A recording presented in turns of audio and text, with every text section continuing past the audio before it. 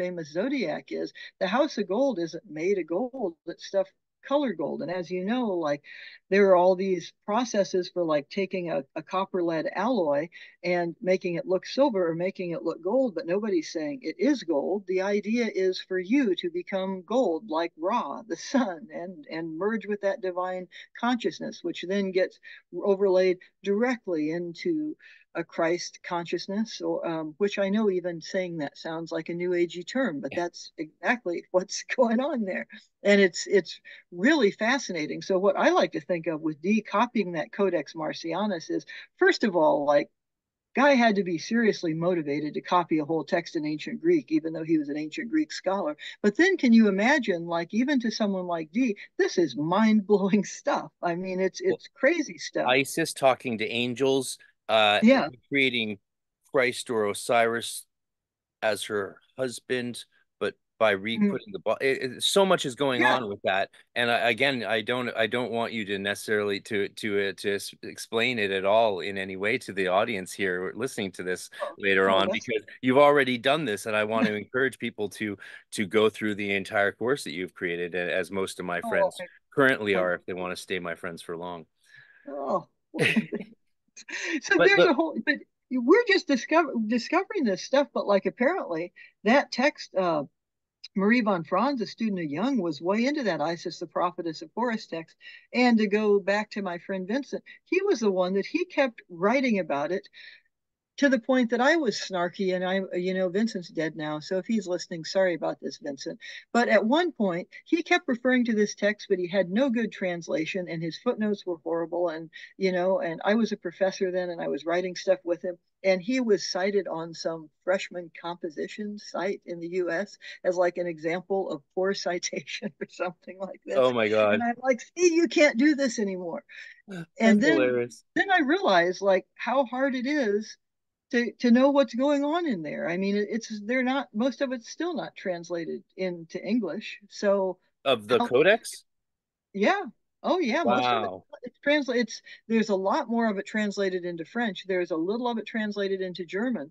Um, the one that's translated the most is um, that the vision of Zosimus or on excellence on virtue. But like the the one that I find of Zosimus the most fascinating on the letter Omega, where yeah like Adam is made of four elements, and Jesus comes and visits Adam and helps him not be enslaved by the elements. I mean, it's it's it's a it's a, it, it sounds exactly like what every Golden Dawn adept has been wishing we could find as a source for all of Mathers and Westcott's uh, creativity, shall we say? Yeah, but then where did they get that from? I mean, so I'll tell you one per, a, a, person who, like, historically, I don't even know what I think about this person, Arthur Edward Waite. I mean, he's a fascinating character, but when he's trying to explain the Turba Philosophorum, which is not near as interesting anyway but he's trying to explain this nature rejoices in nature, which, uh, quote, well, so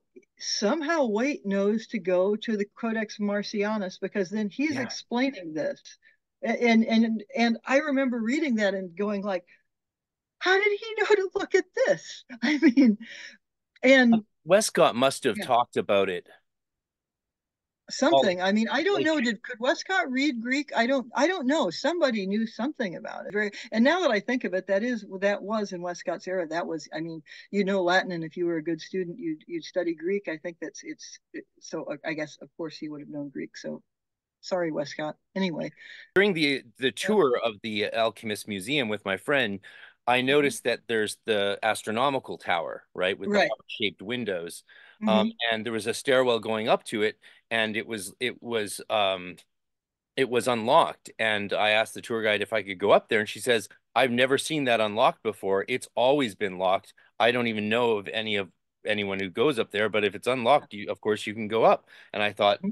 this is far out okay oh, wow. so i grabbed my i thought well what if i go do like you know the 10th call of tex up there and, and see what happens you know I'll, I'll, bring i'll film it on my ipad and you can see that video on my youtube yeah um, not many people watched it or, or, care, which is fine. But halfway through the call, I had I uh, I had got a jolt, and it was yeah. like you don't need that here. And I stumble. You can see it when it happens in the call because I stumble over the words. And this is probably one of the the the things I know best in life. If there's anything I know very well, it's it's the the Ols, Olsenooth, you know, um, call. Um, and and and and there, I I yeah, I had an experience. I looked out and meaning, I saw meaning like, okay, if I could, meaning like you don't need to open the veil. yeah, you there. yeah. And I looked out and it just was like yeah. disembodied auras stretching across the rooftops, and this one spirit said, telling me its name and saying, um, "You can talk to us without without doing that here. Um, what are you here to do?" And I said, "Well, I don't know. I'd like to do this." And they said, "We can make that happen." And everything just fell into place. I went back up to Leipzig the next day to finish oh, wow. some work I was doing up there, and then set up for two the next ten days. Set up these lectures in Prague. I, I was gonna do them down in in Vienna, my old stomping ground, and also hit up the Thoth Hermes podcast at the same time. But coincidentally, he got sick. The Thoth Rudolph got oh. sick, and Nick Farrell canceled our our coffee in Rome, so I didn't. I just stayed in Prague and yeah. did this series of lectures and tons of magical things happened throughout. So you were lectures. supposed to be there. I mean, it's it's it's weird how many people, the people who have the most magical experiences in there, I'm convinced, are people who just randomly wind up there. And I mean, I could list off stories, but I Vincent wound up there when he was in Prague by Zach. Um, just uh, Vincent was giving his talk about Kelly's Tower and doing tour guide kind of things, which was something he was able to pull off. And I don't know how, as an American in Prague, he was able to pull that off, but he was really good at it. And then um, Zach came out and was like, "You need to move in here," and he was like, "Oh, I didn't." There was so he did. But all all kinds of uh, I got lost in Prague um, once when I was I was staying with a former girlfriend of Vincent's who was there and she was working, and so I went to and I got really sick wandering around in Malá and I'm like, God, I got to go somewhere and sit down. So I wound up sitting in the courtyard there all afternoon. And when I got there, I mean, I knew where I was. I was like, oh, this is weird. Okay, I know where I'm at. I don't, I don't know how I got here. And I was calling um, my friend and saying, I got Rodka, I'm in Kelly's Tower. I don't know how I got here. Can you come get me? it was it was was kind of wild. Anyway, um, yeah, stuff opens there. So another person we knew there kept. I, I said I was going to tell you the story of Vincent's Enochian lamp. Well, since he was doing lots of Enochian stuff there, and you would have to have met him. He was he's now I really believe he had some of Kelly's memories. He's one of several people I have known who thought they were the reincarnation of Kelly. But I mean, I don't really think we have a very clear metaphysics of how we understand past lives in the West. I mean, to me, that's not a problem at all. But I mean, we'd walk, he'd do like he'd run into a wall and be like, oh, that wall didn't used to be there. He'd know exactly the place to go, even though he never learned Czech. Uh, and I mean, it, it was uncanny. So, so he's working on Enochian stuff in Kelly's Tower, and one person there kept. So the story goes. You, anyone who wants to is invited not to believe this. This person kept getting possessed by the ghost of Edward Dyer. Well, that was weird enough. But so that was the point of the whole uh, Enochian lamp was to set up a structure that, I mean, since you're supposed to do it in a Tiferet space, but also once you get, get that going, so the ghosts that say weren't welcome stayed out for a time with these Enochian lamps, which is kind of a I don't know, kind of a fun thing. Then have you heard of the story of the play that he put on there or did not put on as it turned out? No, I didn't, but I also can tell you I am definitely going to be making an Enochian lamp. I don't know what it will be look like, but that is happening for sure. it, uh, it, it, was it was a, a, pretty cool thing. So so Vincent wrote a play about the end of Kelly's life and involving Kelly's eh, Dark Lady, and this was all drawn from a combi- well it was drawn from a combination of historical and non-historical sources but his it's uh, this was supposed to be put on in kelly's tower. And at that time um, when this was happening i was teaching in china where i'm going again in a week but alan was back um, in the us so they were putting this play on. I'd seen copies of it and and so on. And they had a pretty good cast and everything but one person Vincent was doing magic with, they were also trying to make what they called a time telephone. There was something where Vincent wanted to go back and change something Kelly had done or something like this. It's a, a long, a long story and would require what more explanation than I feel comfortable giving, frankly. So, so he called Alan, who was in Wisconsin in the United States, and they talked. And Vincent was like, "Hey, you got to come over here. You know, leave Uncle Sugar." Da da da da da. And I, I mean, we've been over there to see him several times, but they had a great conversation. And then suddenly Vincent got tired and was like, "I got to go." Well, he sometime between then and the next morning died. The play was canceled and so then, and of course, Kelly's ghost figured prominently about them. The story went from some of the people in the play that Edward Kelly's ghost was already upset by the play because in the play, Kelly forgives this woman and Kelly hadn't something like, I mean, it's sometime the, the play will be published somewhere and anyone interested can read it. But so then, and I swear this is true, by the time that I was back, um, the year after Vincent died, 2015, you had to have a whole metaphysics, not just of past lives, but of ghosts. There's like, well, there's the ghost of Kelly who is pissed off about the play. There is the ghost of Kelly after Vincent died, who is guilty that he helped cause Vincent's death. And then there is some other Kelly that no one, ghost that no one can figures out. And it's just like, wow, I have never experienced anything like this in my life before. But, but Kelly's ghost was, you know, not uh, affected by the Enochian lamp, it seems. It only kept Dyer away and people like that. Then there were other stories about, like, they had an idea that that had been before Dee and Kelly were there, a um, some kind of orphanage, because there were all these child ghosts at one time that were kind of alarming. And then there was supposedly a Westonia ghost who was supposedly like running around and like a kid or something. But I, I mainly got there and encountered the Kelly ghost, and and that was interesting. And then I encountered the Kelly ghost when we went to Most, and made a promise which I haven't kept. And instead, for years, I've thought, why did I make a promise to a ghost of Edward Kelly? Like, what was I thinking? Anyway, so quick spiel of, of, of, of, the ghost stories there. I love it. I love it. I'm sure the, the listeners will too. I haven't read Jenny and Donald Tyson's new book, uh, Spiritual Alchemy, which is all their scryings with Edward yeah. Kelly's ghost. Have you looked at that yet? Because I'd be more interested yeah. in hearing someone like your opinion than mine, because you know more details about his life than me. So you might actually catch things that be like, oh, holy crap. Well, I I don't know what so what I thought isn't provable in any way at all. Uh, so I don't, but I thought this doesn't sound like Edward Kelly. In fact, I thought it sounded like Vincent. I mean, the person's talking in pretty clear American English, which, but I mean, that can happen with with with scrying. I know at some point Tyson and uh, Vincent uh, knew each other. I don't know um, in in what way. I I like the book. I just I was I was kind of taken by the kind the English he spoke. Um, yeah, and there were um, theories yeah. on how the in, I mean consciousness communication's yeah. got to be a weird thing, right? Um, but well, there is. Uh, although, like, I mean, the Edward Kelly ghost I encountered swore at people in Latin. He didn't really like to speak English, so.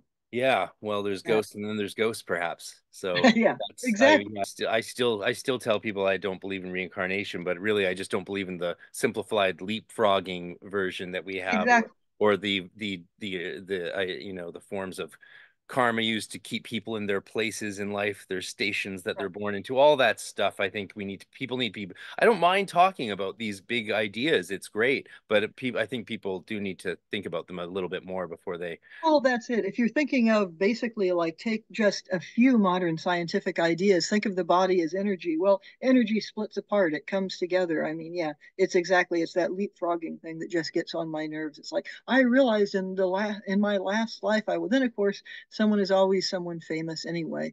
But there's not ever the notion that this energy body that was this consciousness could have split into multiple consciousnesses or that they could like drop in at a particular time.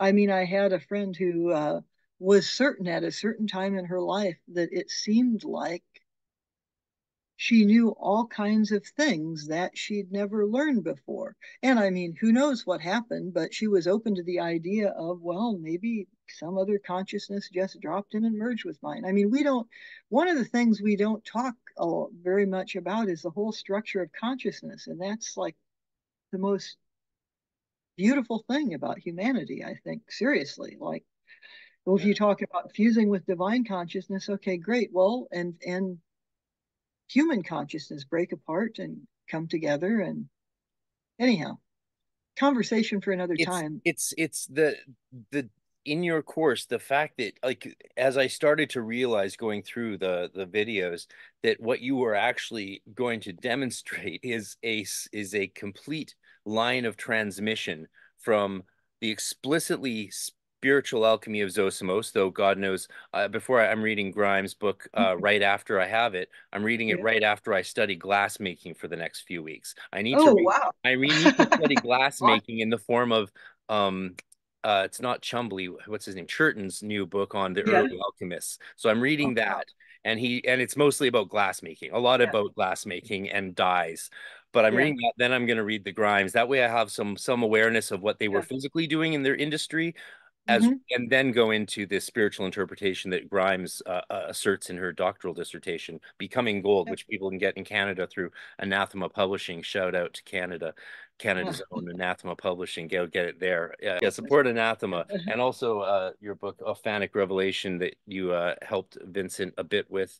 Though it's mostly his work, as you said. That... No, that's his work. It had an introduction. In fact, we got into an argument about that because if you read the introduction to that, we got into arguments a lot. We had a very dysfunctional, delightful friendship, and Alan and I both really miss him. He actually he married the two of us, by the way. He introduced wow. us, married us, uh, but um, it was clear when I was working or hanging around him that he was a teacher and I was a student, and that was fine. I mean, I, it was like what a steep learning curve of the occult. I mean, it, it was intense and wonderful for a few really precious years. But so we got to this and we're, and we're writing the introduction, and he was upset at my slow progress, which I understand. I, I do things, I did things more slowly than he did. But then we got to a certain point and he's going off on this whole thing about Crowley. And I'm like, look, I don't think this is an introduction to Enochian. We don't need like half of this to be Crowley. And he basically was like, well, it's going to be there. You're booted from the project. I'm like, well, okay then. I mean, so you can see in that introduction, there's a definite point where the style changes. That's because I wrote the first part and he wrote the second part. So anyway, the cultists uh, are such famously easygoing people. Yeah, we yeah we get along with everyone. We never argue. That was the only you know the only time. Yeah, um, amazing. Um. But uh, I, I actually we had a point in around 2010 or 2011 um, where I just thought I'm never going to talk to this person again. And he probably thought the same about me. I mean, my dear husband was like the color of a white sheet of paper once after after one of our disagreements about uh, something that we were working on. I actually have gotten a lot more mild mannered. I'm sort of ashamed to look back at those at, the, at those days in a certain way. But um, anyway, um, we were I I was never going to talk to him again. And he was like, never going to talk to me again. And it's, it sounds sort of like kids on a playground going like, yeah, and you're not my friend anymore. Yeah. And so I am really glad that that didn't last and we got back in contact and we're on good terms before he unexpectedly died. I mean, I'm really grateful for that since we have touched so much on him and you've shared these like beautiful little memories of of this fellow who I think the occult world due to the, the, the, he only put out this book and his book on Kelly as far as I know and I haven't yeah. I've been trying to get his Kelly book for a couple years actually because I heard about his book on Kelly before I heard about you um. And couldn't get it and that's why I ended up doing a, I tried to promote him in a way uh, Vincent Bridges by by yeah. doing a commentary on uh, some of the stuff from the the pamphlet I got in Prague at the Alchemist Museum yeah there's a little mm-hmm. piece of his writing in there. I'm like, yeah. how come no, I can't find anything out out about this guy? Hardly at all, it seems. Um, his books are hard to get. Um, this one, I just didn't, I just didn't know what it was, and the cover made me mm-hmm. think it was a bit too new agey for me. But turns out it's it's wild and delightful, and has the best exploration of the letters that I've ever seen. And I thought maybe we could just quickly talk about uh, one aspect of the book, mm-hmm. which is his study yeah. of the Enochian letters. And could you maybe just illuminate, uh, give us a bit of a, an incentive for those who will buy this book about what they're going to learn about his theories of the letters and what they are? Sure. Well, he a couple things. Now the look the there's an article by his former partner Darlene on the letters that's that's excellent also that's looking at them as waveguides. So I think that's maybe the part that you opened up I'm, yeah. there. I'm not sure. Well, I'm, but I'm his whole calling yeah. the whole book his essentially. Yeah. God. Well, and and who knows? I mean, I think a lot of the ideas. Well, you know what? I'm not even going to say that because I. Uh,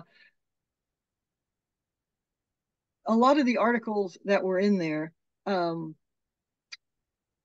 are from the Journal of the Western Mystery Tradition, and he revised them, and they're um, from the Journal of the Western Mystery Tradition and added to them. But the center part of it was the the biggest Enochian working that I know of in my lifetime, and I I wasn't there, but I know quite a few people who were there, and so that's the complete Enochian handbook. So in that, and I'll get to the letters, okay, but in that what he's doing is looking at each component of the Enochian system as in terms of what geometric shape it is. And these are all shapes that rotate. Now that came, I think, I'm certain uh, he talked about it as a, a visionary experience of, of, of interacting and seeing those shapes.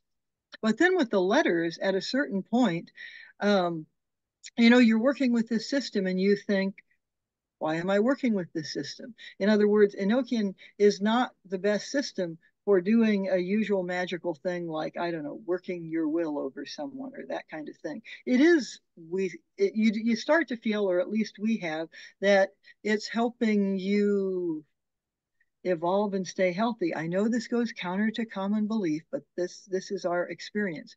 So he had he uh, wrote a thing called Angels in the DNA, which is um, actually it's my favorite article of his where he looked at how you could arrange the letters and the weird way that they map and how they could map to transfer RNA. I'm not sure if that's the one you're talking about, but that's the one that is my favorite and it it looks at a it draws on a uh, a couple of articles that looked at the I Ching that way actually like if you're going to have these trigrams and these trigrams and put them together, you could shuffle these in the same way that DNA shuffles itself. That's that's a very very general idea.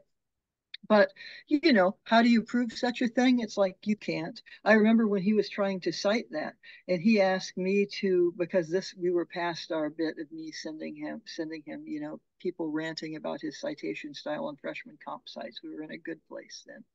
And he was like, Could you find a way to cite this? And I'm like, Well, you've cited it. And he was like, Well, yeah, but this just sounds like from the angels to me or something. And I was like, Well, that's basically what it is, isn't it? Because it was. It was just a kind of unprovable download, but it's kind of awesome. Anyway, that's yeah. the one I thought you were talking about. If you're talking about the one about them as waveforms, I've looked um, at both of them. Yeah. Yeah. yeah. Um, that the one about the letters as waveforms grew out of the one he wrote. And then I think um, I remember when Darlene was writing that one, and she was writing it. It was something he'd always talked about a lot, but she was a was a, a photographer, and so she really did a, a beautiful articulation of it.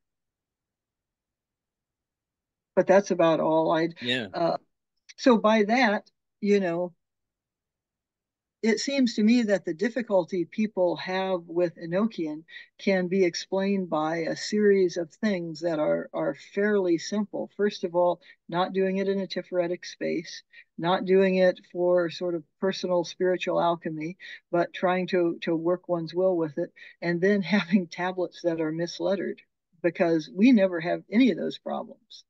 Did Kelly read the Monas Hieroglyphica? I tried to ask this on the Enochian group that oh. um that that I've gotten so much help from in the past, and I owe oh, Maria, Maria Montgomery, Maria Montgomery an apology yeah. because early on I said that I didn't see the Monas having any impact in my relationship to Enochian magic or pursuit of the great work at all. And she said, Well, for me, it definitely does. I'm like, Well, I'm open to that. I'm open to hearing why it would have that, but it just hasn't based on my understanding of it. And thank you for bringing that understanding now to me. And so sorry, oh. Maria, for not, not, not copying on sooner, but I'm now my eyes are open and the things have fallen, the scales have fallen from them. And uh, I can't imagine Enochian magic or Dee or the Golden Dawn without the Monas Hieroglyphica now, well, which is such a crazy revolution in my thinking that it's, it's, it makes me giddy every time I contemplate it. That's well, like there's there is a reason for that. Like the the most basic connection between the two is obscured by translation, and that's like elementata, which yeah. would be like air of air or air of earth or you know air of fire. I mean, a, an element and a sub-element. That word was constantly mistranslated in just as element. So how would you see that he's breaking things up in the Monas Hieroglyphica using the same kind of system that then shows up in Enochian? I mean, there was no translation available, and so that was, um, you know, and with me, I would say, well, thank, thanks to uh, thanks to those scholars who were writing about medieval text using the word elementata, who figured out that that's what it was. But yeah, yeah, um, scholarship um, is always a team effort, really, if you do it right, as you as you pointed out. How, but you know, yeah, go ahead. No, did Kelly was did he explain the Monas to Kelly? Because well, there's things I mean, Kelly brings through that seems like he understood the Monas, and if he didn't well that's a coincidence isn't it um i'm just yeah. curious it's just a sick curiosity i just want to know so i think i think that kelly had to be way smarter than people give him credit for first of all and and just to you know when people talk about whether or not this could be faked and they say it couldn't be faked well then add to that. Or if anyone did fake it they're just such a genius and so literarily skilled i i, I want to know them anyway. So i think I, I can't imagine that kelly didn't understand it. For one thing i'm sure it was used in espionage. You could use it to make great uh, um, clock ciphers. And you know, I mentioned when I was in this Voynich group working with Glen Claston or Tim Rayhel, he that's that's what he saw the whole thing is doing. Well, if they're there as intelligencers and there is something they're using that for, well, yeah. But then on top of that, the most embarrassing mistake I have made in my history as a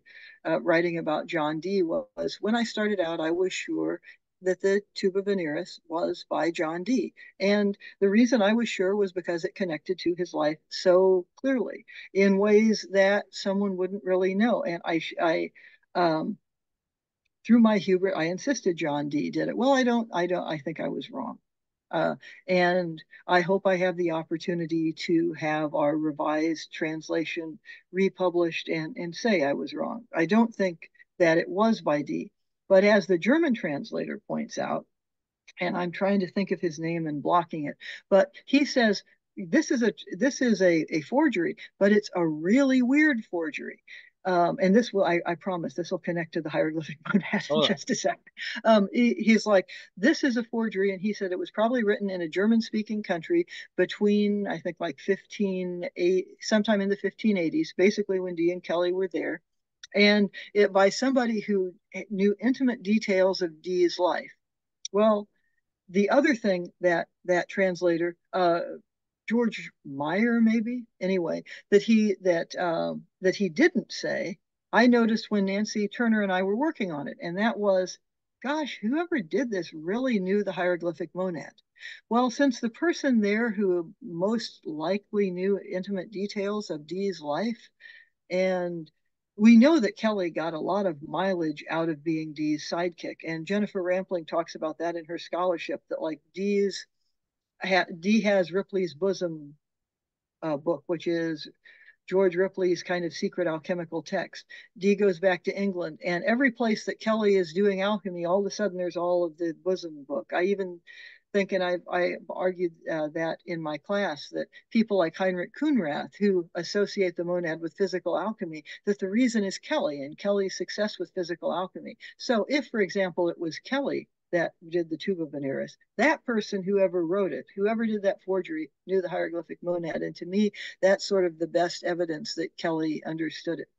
Not to mention the best explanation I ever got it, uh, for it until I started diving in myself was from Vincent, who claimed to have the memories of Kelly. And he hasn't been, there were things he said about it that I just totally ignored. And then um, looked at more than 10 years later, and I was like, holy crap, he was right. I mean, he, he he could be a, a very frustrating individual on the one hand. On the other hand, you know, if you're right a lot of the time and you don't know why you're right and people always are telling you you're wrong, I mean, I think you kind of get an attitude. So, I mean, I understand the attitude that, that he had. Anyway. Yeah, it's, it's, it's the the and that the video on the turba was really good. I I did all the word study videos as well, all the offshoot things, the Zosimos three vid, everything. Of course, so of course, I had to. You are appreciated. The, it seems almost impossible to me that that like Dee couldn't have been teaching about the Monas as he went around Europe this is going back to the mm-hmm. Yates, Frances yeah. Yates thesis on setting up Rosicrucianism by communicating his ideas to people as he traveled around. And why wouldn't he do that? It seems why wouldn't he do that is a hard question to answer. Um, of yeah. course he would do that. The Fama Fraternitatis and the Confessio and the chemical wedding with the the Monas Hieroglyphica right on the front of it. And people have been oh. saying my whole life that there's no connection between John Dee and the Rosicrucian tradition. That's just I just think that that's got to be thrown out, you know, and and I don't know how Yates figured that out, but I think she was just dead on. I mean, the philosophy behind the monad is the is proto Rosicrucianism. And and it it gets condensed in in all kinds of ways. But and you know and then there's also in the fama and by the way this isn't my idea. I want to shout out to my friend uh, jeffrey kupperman because he noticed this. And then i was yep. like oh wow i agree with you. You know in the fama it's re- it's referring to this strange language. Well maybe that's enochian. I mean the question i have about the later rosicrucian stuff is not um does why the effect... more, why isn't there enochian in it yeah, exactly. I mean, that's Until the question I have the, about it. The only thing that looks like it to me like it can be related is that that part in the Fama.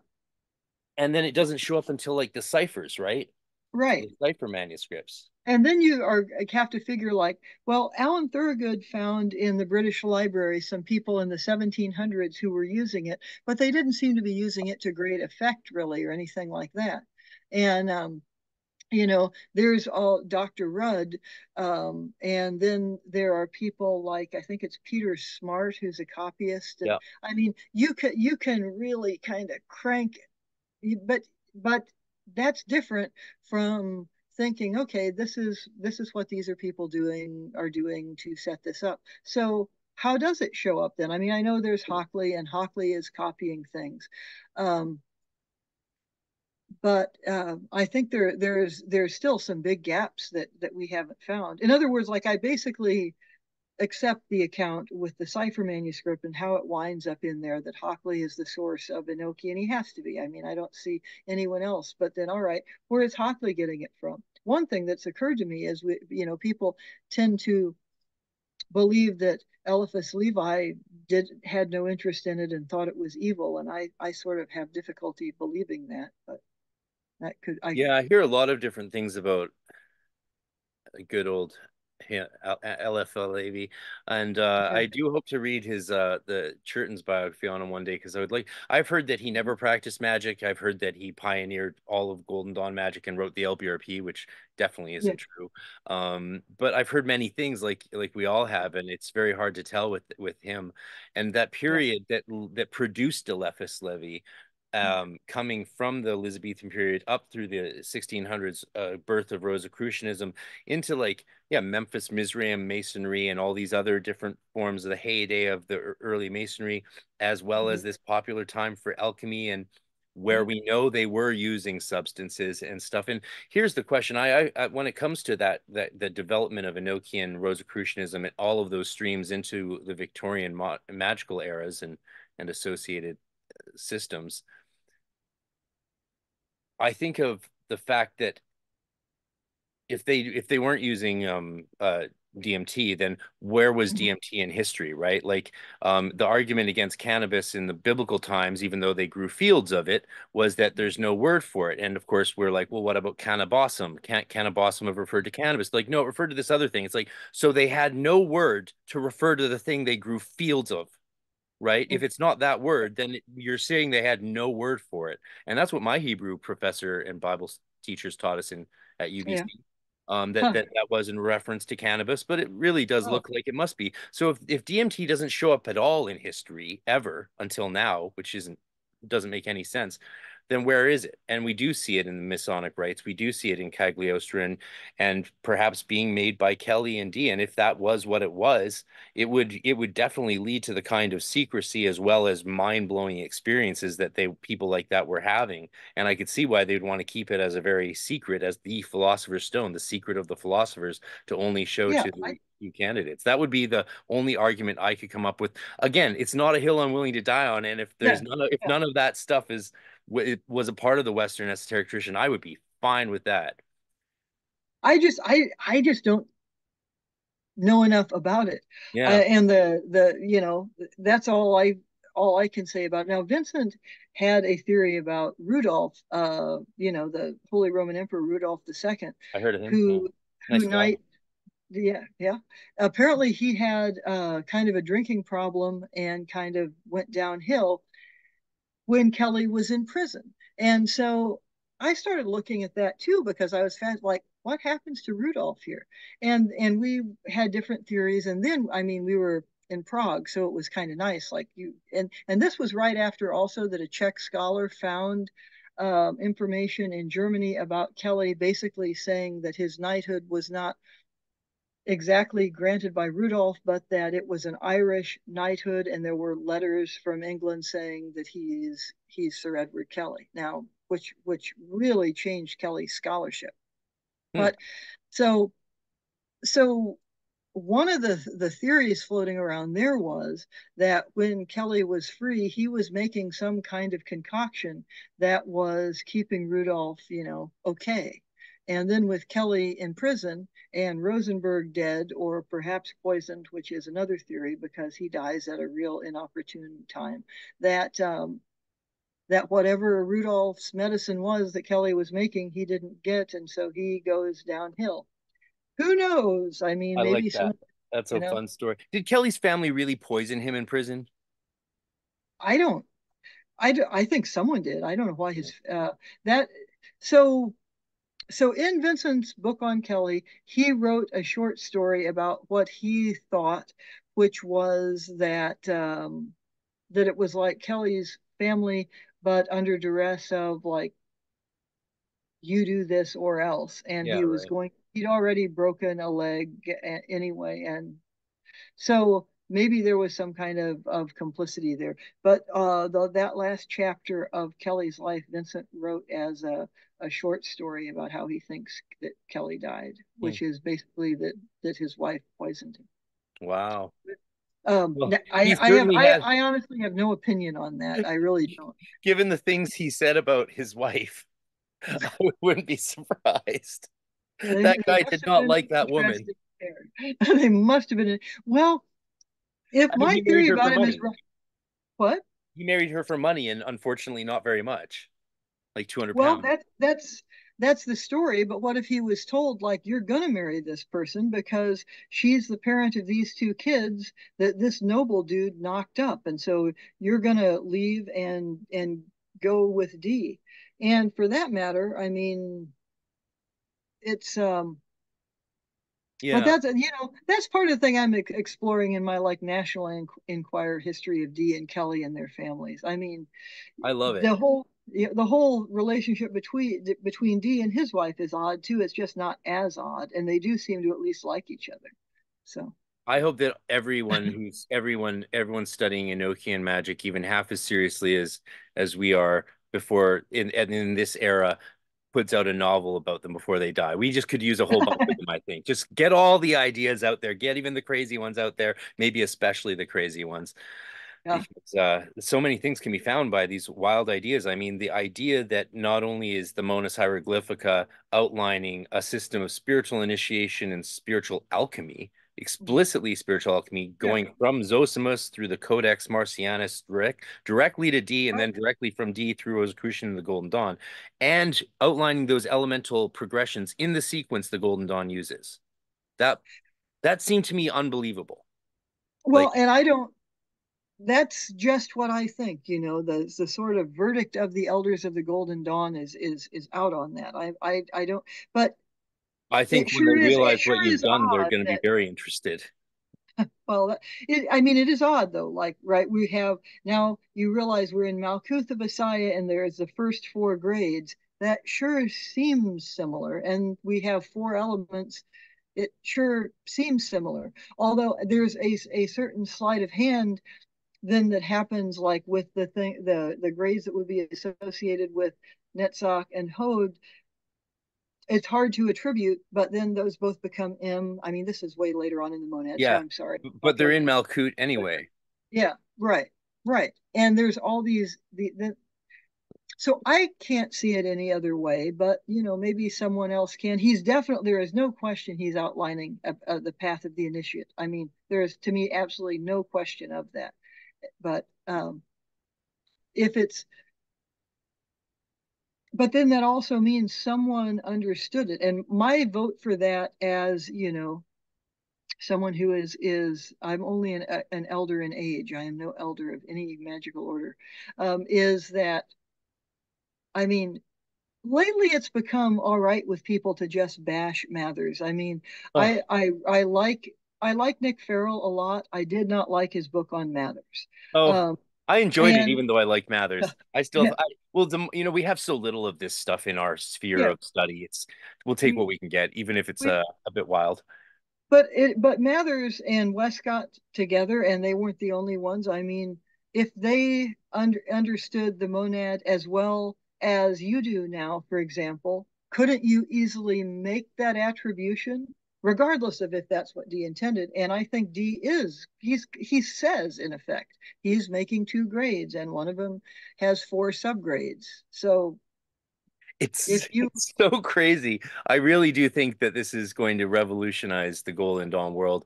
Um, but maybe not. Maybe it'll stay too stodgy. Um, but I think that people will love this. I think uh, like uh, uh, in in the introduction to the portal papers put out by uh, the ever reliable Hellfire press, um, Tony Fuller uh, mentions yeah. how quickly the grade material was actually produced um, and how much of it was produced yeah. and how impossible it would be for one person, Mathers being the main one during mm-hmm. this key window um, that mm-hmm. Dr. Fuller discusses. Um, yeah, and right. put out all it's it's too much for one person to put out in a year and a half or two or three years. There, and it was almost and... all there from the very beginning of the order onward.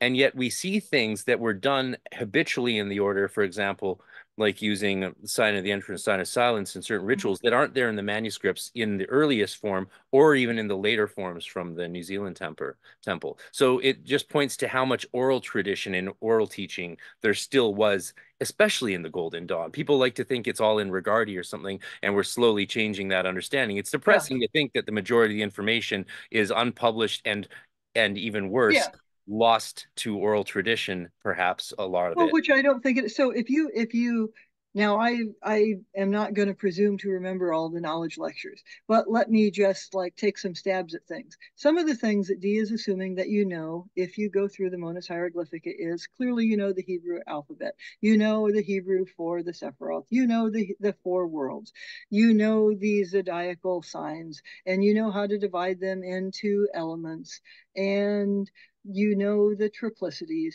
you know alchemical symbols, you know things. I mean, after a while, it's like you're reading it.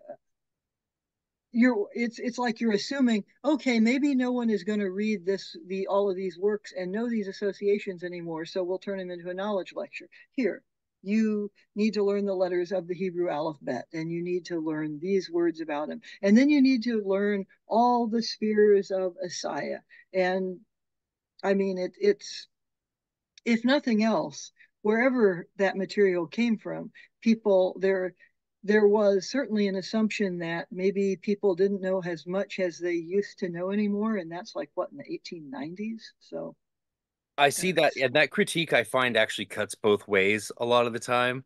Um, you yeah. know, it's like it's it's sort of always true. It's like they didn't know, like, yeah, you wouldn't want to know be as limited as a Victorian uh no. uh academic was, but you also wouldn't mind knowing a lot of the stuff that they know. Because yeah. a lot of it's just not taught anymore. Again, we didn't grow up with Greek and Latin. Well, I had some Latin in Waldorf school, but not enough um, to make much of an impression. It mm. just like a little exposure, but like well, you know. If, if, I if I could do one thing again in my life, it would be to learn ancient Greek. I really I've tried, and I think now I'm too old. Really, I honestly do because what a language of like the perfect language Attic Greek for philosophical discourse. I mean, just shades of meaning. They they don't exist in English, but they didn't exist in Latin. I mean, they it's it's such a beautiful language, and it's not like modern Greek either. I mean, which is not to diss modern Greek, which I also don't speak. But I I mean, I wish I could could uh, learn ancient Greek.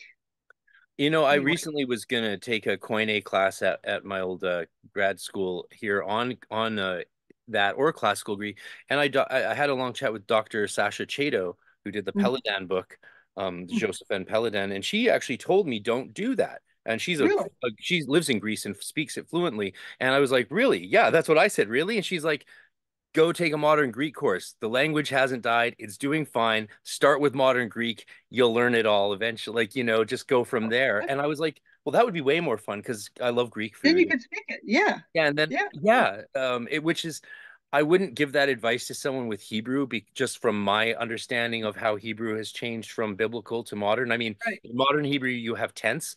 We don't have that in biblical Hebrew. There's no mm-hmm. tense. And of course, yeah. everyone's like, well, how do you know when it's a prophecy or not? It's like, exactly. Exactly. That's, yeah. Think about that. You got a conversive vav. That's it. If there's a conversive vav, you know it's probably past tense, but not always.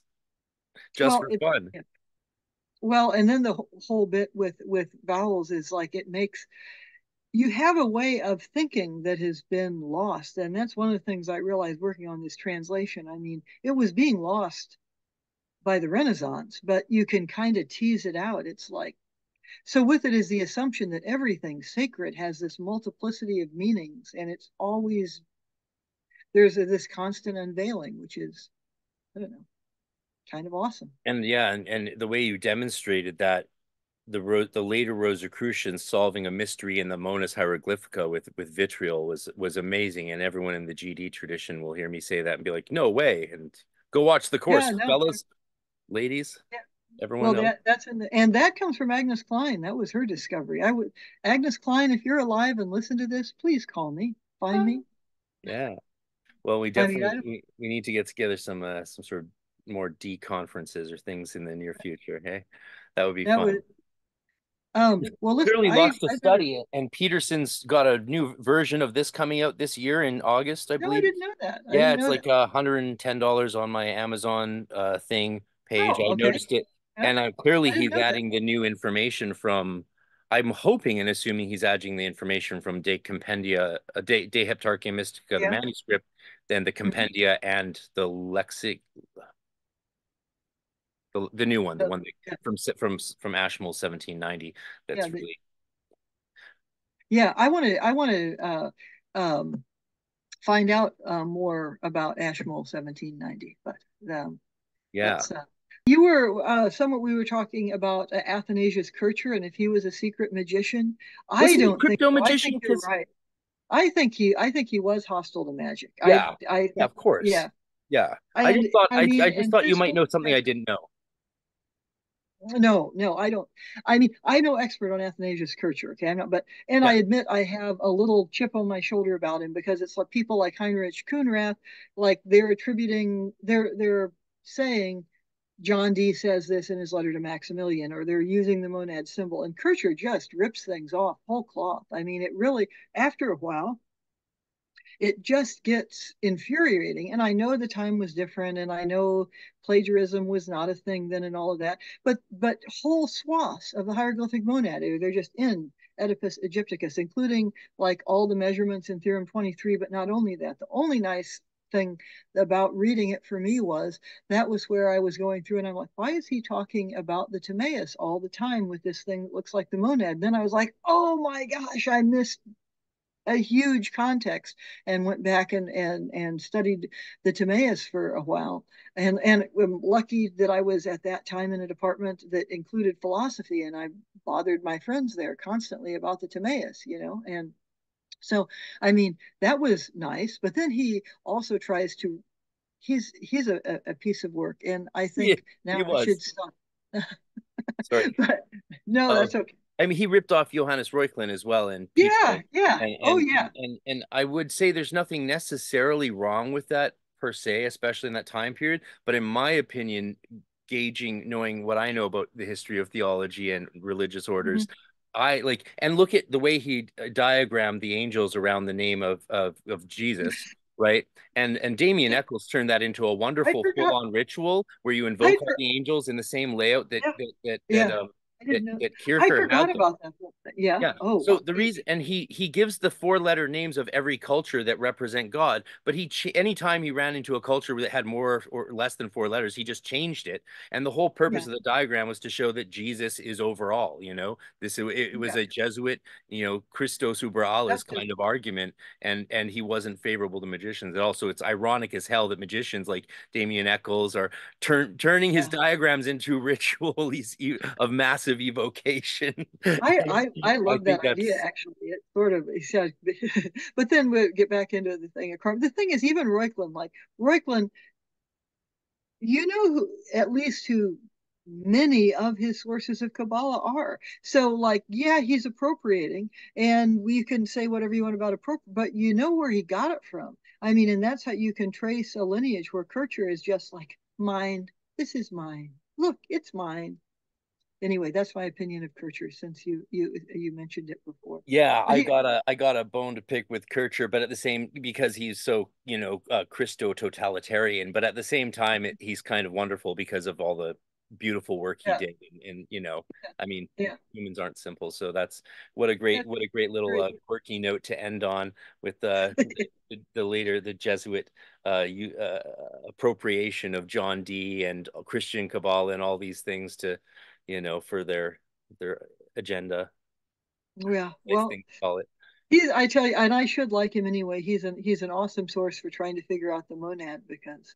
Well, you wouldn't have. So you wouldn't have even looked at Timaeus in your translation if it I weren't. Think I, I don't know. I think I would have gotten to it eventually, but I mean, because this is like 2007 that I was going through Kircher and all of this, um, and I mean, I think I would have gotten to it eventually, but it by the time I'm here is this glyph of of the monads. Here is his explanation of things, just like in the hieroglyphic monad, but he's referring all over the place to Timaeus. It it sure supercharged the process. I mean, before then, I just thought since that that whole sun symbol is also a symbol of the Pythagorean monad, and since he's doing all this stuff that are clear references to Plato's Republic in the letter, I was like, and Dee is well known as a Neoplatonist. I was looking at it that way, but it hadn't occurred to me like all the, the way that he's overlapping the the receptacle and Bina and things like that. No. I, I mean I hope I would have run into it eventually without without his help. Man, there's so much. Uh, I, I I hope that we can do this again sometime. Yeah, got, your, book, your book will be arriving uh, at some point with me. I've got it uh, ordered, and and then I'll go through the whole course again and and really this time I just absorbed. I was like, okay, I know I'm going to hear this in uh, this 50 hour video course multiple times in my life. So how how do I want to approach? And I thought about it, and I just was like, I'm just going to absorb. And uh, the exercises were good, though. Uh, you know, if you know the knowledge lectures well, unfortunately, they're um, less challenging. Uh, if you, there's some good challenges though in in those in, in mysteries left to uncover. There's mysteries left to uncover. Well, I just appreciate you you watching along. I, I'm I'm very sincere about that, and really kind of psyched to discover your stuff, which I had not looked at until until this course, and we got in contact with each other. And I'm I, so I hope we can get together and do Enochian sometime. I sort of have a sense we will before this, as they say, this dance is through.